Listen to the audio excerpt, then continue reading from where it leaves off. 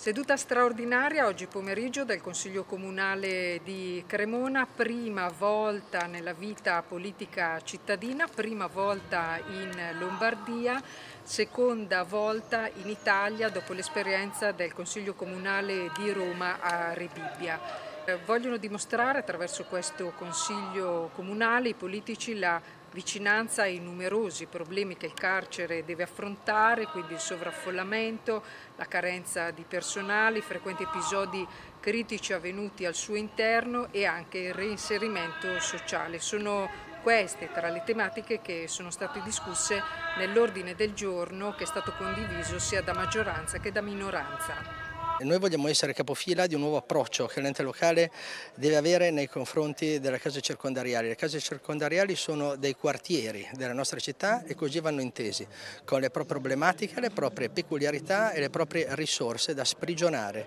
dall'interno della casa circondariale per tutta la comunità. Carcere ha bisogno di una serie di relazioni, di progetti con la città che esistono, che ci sono, che vanno implementati, perché eh, senza questi progetti il carcere rischia di essere una realtà isolata e a sé stante. C'è la carenza del personale di tutti i comparti, eh, i detenuti, alcuni dei quali presentano delle problematiche dovute loro, al fatto di essere stranieri e poi la eh, sempre più sentita necessità di una maggiore partecipazione della comunità esterna a quelle che sono le attività dei detenuti. Eh, le problematiche del, del carcere sono molteplici, quindi eh, ci sono detenuti extracomunitari, ci sono detenuti psichiatrici